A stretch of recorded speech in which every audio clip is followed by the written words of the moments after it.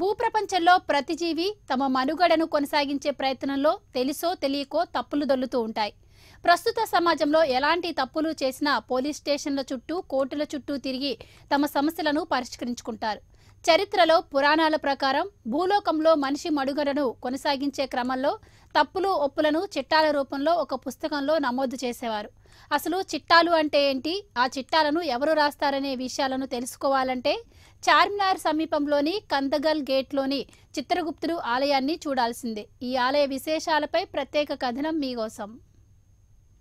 చేసే పాపాలను పుణ్యాలను ఒక చిట్టాల రూపంలో చుట్టకట్టి ప్రతి పాప పుణ్యాలను ప్రక్షాళన గావించే ఈ యొక్క ప్రత్యేకమైనటువంటి గుడి మన హైదరాబాద్ చార్మినార్ దగ్గరలోని కందికల్ గేట్లోని యొక్క చిత్ర గుప్తుడి యొక్క గుడి అనేది ఈ యొక్క ప్రాంగణం అనేది రోజు రోజుకి ప్రాధాన్యత సంతరించుకుంటుందనే చెప్పుకోవచ్చు.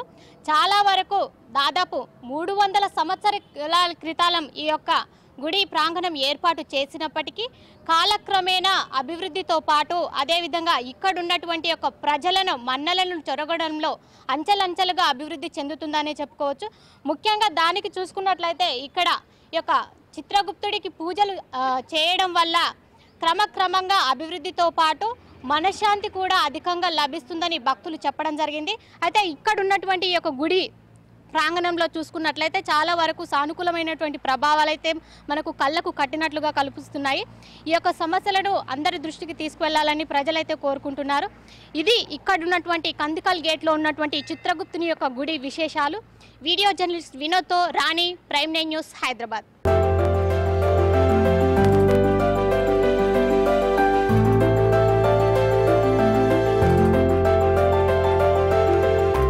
సాధారణంగా మనిషి జీవితంలో పాప పుణ్యాలు అనేవి ఒక భాగం. పుణ్యాలు చేసినవారు స్వర్గానికి పాపాలు చేసినవారు నరకానికి వెళతారని బ్రహ్మదేవుడు నిర్ణయిస్తాడు. హిందూ పురాణాల ప్రకారం మనుషుల పాపపుణ్యాల చిట్టా రాసేవాడు చిత్రగుప్తుడు. ఇతడు యమధర్మరాజు ఆస్థానంలో ఉంటాడు. కలియుగంలో చిత్రగుప్తుడి పేరిట గుళ్ళు గోపురాలు అతి తక్కువ ప్రదేశాలలో ఉన్నాయి. భరతుడు పాలించిన భారతదేశంలో వీటిని నిర్మించారు. రాముడు సైతం చిత్రగుప్తుణ్ణి కొలిచినట్లు పురాణ ఇతిహాసాలు చెబుతున్నాయి. అందుకే రాముడు రాజ్యమెలిన అయోధ్యలో చిత్రగుప్తుడి దేవాలయం ఉంది. ఇలాంటి అరుదైన దేవాలయం హైదరాబాద్ పాత బస్తీ కందికల్ గేట్ ప్రాంతంలో ఉంది. చాలా మందికి ఇక్కడ చిత్రగుప్తుడి దేవాలయం ఉన్నట్లు తెలియదు. బ్రహ్మకు అనేక మంది సంతానం ఉండగా వారిలో వశిష్ఠుడు నారదుడు అత్రిముని మానసపుత్రులు మరికొందరు బ్రహ్మ శరీరం నుంచి ఉద్భవించిన వారున్నారు. చిత్రగుప్తుడి జననం చాలా రకాలుగా వర్ణించబడి ఉన్నా ఆయన బ్రహ్మ శరీరం నుంచి ఉద్భవించాడు అనేది ఉమ్మడి సారాంశం. దీపావళి రెండవ రోజు యమద్వితీయ ఉంటుందని ఆ రోజున చిత్రగుప్తుడి పుట్టినరోజు నిర్వహించే ఆచారం కొనసాగుతుంది. దీన్నే భాయిదూజ్ అంటారు.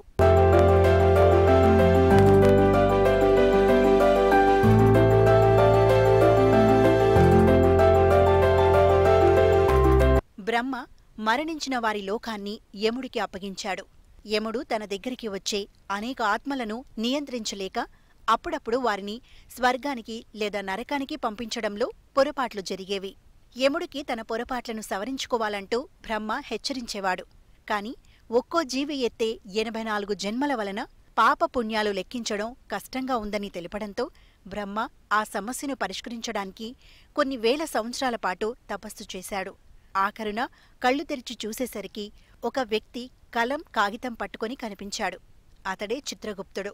బ్రహ్మ శరీరం నుంచి ఉద్భవించాడు కాబట్టి ఆయనకు జన్మించిన వారసులను కాయస్థులు అంటారు.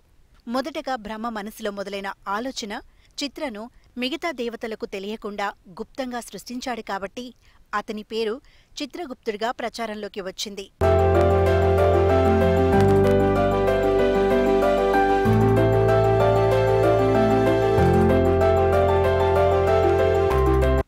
భక్తుడికి ఇష్టమైన రోజు బుధవారం కావడంతో ప్రత్యేక పూజలతో పాటు అభిషేకం నిర్వహిస్తారు. అకాల మృత్యువును జయించడంతో పాటు పెళ్ళి సంతానం ఆరోగ్యం చదువు కుటుంబ సమస్యలు ఇలా అనేక సమస్యల పరిష్కారం కోసం ప్రత్యేకంగా చిత్రగుప్తుడి పరిహార పూజలు చేయిస్తారు. ముఖ్యంగా రాహు కేతు పూజలు జరపడం వల్ల వివాహ సంబంధాలు కుదురుతాయని పూజారులు చెబుతున్నారు.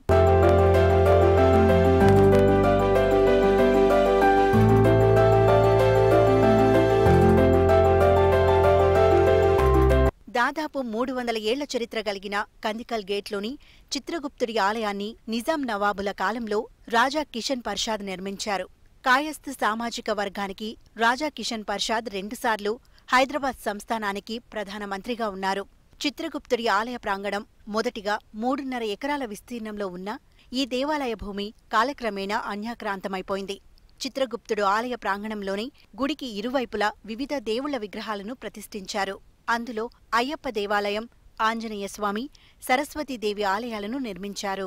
ఈ యొక్క గుడి ప్రాధాన్యత ఏంటి? ఈ గుడి ఎప్పటి నుంచి ఈ యొక్క ప్రాచుర్యం పొందింది అనే విషయాలను ఇక్కడ ఆలయ పూజారి మనతో ఉన్నారు. ఈ యొక్క ఆలయ పూజారిని అడిగి ఈ యొక్క గుడి ప్రాధాన్యతను విషయాల గురించి మరిన్ని తెలుసుకుందాం. నమస్కారం అండి. ఈ యొక్క గుడి ప్రాధాన్యత అంటే ఎన్ని సంవత్సరాల నుంచి ఈ ప్రాధాన్యత సంతరించుకుంది? ఇంత ప్రాధాన్యత పొందడానికి ఈ యొక్క ప్రత్యేక కారణాలు ఏంటి? ఓం చిత్రాయ నమ ఓం చిత్రగుప్తాయ నమ చిత్రగుప్త స్వామినే నమ. నా రంగాచార్యనేమో చిత్రగుప్త దేవాలయ పూజారినండి నేను. దేవాలయం ముప్పై సంవత్సరం పనిచేస్తున్నాను ఇక్కడ నేను. చిత్రగుప్త స్వామి వారు కేతుగ్రాని మూలదేవ చిత్రగుప్తుడు. చిత్రగుప్త స్వామి దేవాలయం నిర్మించి దాదాపుగా మూడు మూడు సంవత్సరాలు మూడు సంవత్సరాలు అవుతుందని చరిత్ర చెప్తుందండి. ఈ దేవాలయం నైజాం పరిపాలనలో నిర్మించారు దేవాలయాన్ని.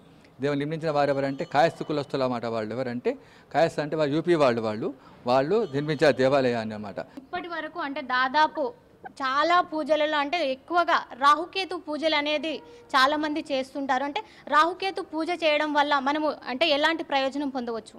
చిత్రగుప్త కేతుగ్రహానికి పులదేవ చిత్రగుప్తులారు. కేతుగ్రహానికి పూజ చేసిన కేతుగ్రహం దోషమున్న మరి రాహు చిత్రగుప్తం పూజ చేస్తే దోషం పోతుంది. మరి చి- కోసం ఏంటంటే ఆరోగ్యం మంచిగా ఉండాలి మరి ఆర్థిక పరిస్థితి మన ఇంట్లో మంచి పరిస్థితి బాగుండదు. అందరి పరిస్థితి ఇంట్లో పరిస్థితి ఆరో- మంచి ఆరోగ్యం మంచిగా ఉందండి. ఆ కా కాబట్టి చిత్రగుప్తులు పూజ చేస్తే ఆరోగ్యం కేతుగ్రహానికి కూడా దోషం అవుతుందని భక్తుల నమ్మకం.